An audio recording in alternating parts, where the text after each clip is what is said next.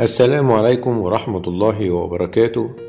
أعزائي مشاهدي ومتابعي قناة بتاع سمك زينة إزيكم؟ هنتكلم النهاردة عن أهم سببين لموت أسماك الزينة. السبب الأول وهو تغذية أسماك الزينة بطريقة مفرطة. يعني إيه؟ يعني سيادتك بتيجي بتأكل السمك بتاعك مرتين تلاتة أربعة في اليوم وبكميات كبيرة. زيادة عن حاجة السمك.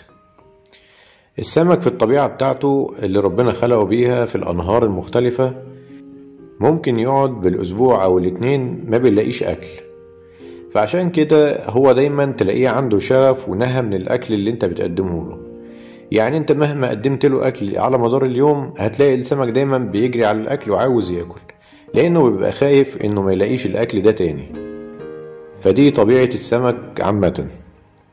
فعشان كده دايما هتلاقي الهواة وخاصة المبتدئين بيبقى صعبان عليه السمك ودايما بيحاول يقدم له الأكل أكتر من مرة في اليوم. ودي من الأخطاء الكبيرة جدا.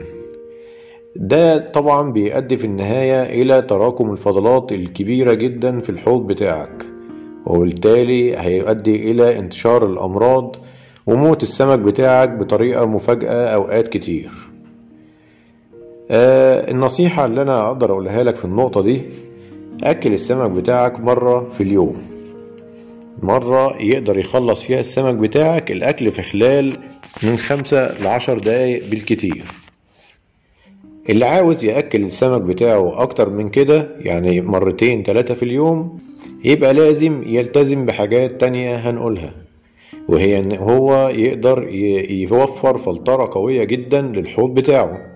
ودي كتير من الهواة ما بيقدروش عليها لأن الفلترة القوية بتحتاج ماديات كبيرة زي مثلا إن أنت توفر له فلتر canister أو فلتر خارجي وده أسعاره بقت غالية جدا خاصة الماركات المحترمة منه أو إن أنت تعمل له حوض سام تحت الحوض.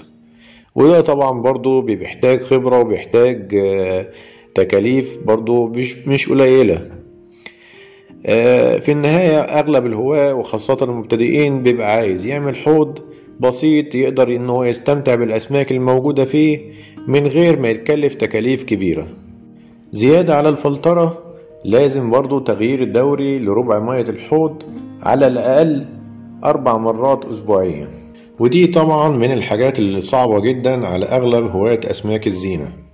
أولا تكلفة برضو من استهلاك مية وثانيا مجهود كبير وثالثا ممكن ما يكونش متوفر عنده الوقت اللي يقدر يعمل فيه حاجة زي كده.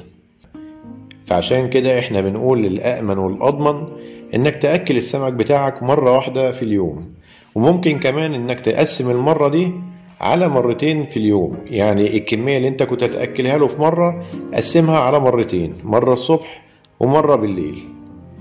النقطة التانية والمهمة واللي بتؤدي إلى موت أسماك الزينة المفاجئ أو سبب رئيسي في موت أسماك الزينة عدم الاهتمام بالتغيير الدوري لربع مية الحوض مرة على الأقل أسبوعيا.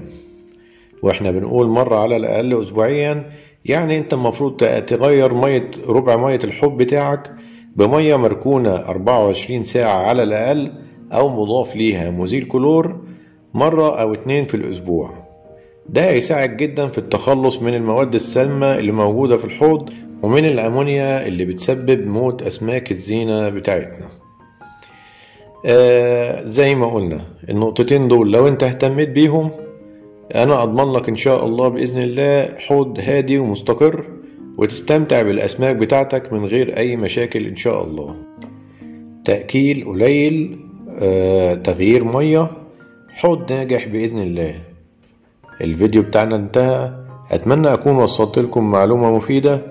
لو ليك أي سؤال سيب لي تعليق أسفل الفيديو وهرد عليك في أسرع وقت ممكن إن شاء الله. والسلام عليكم ورحمة الله وبركاته.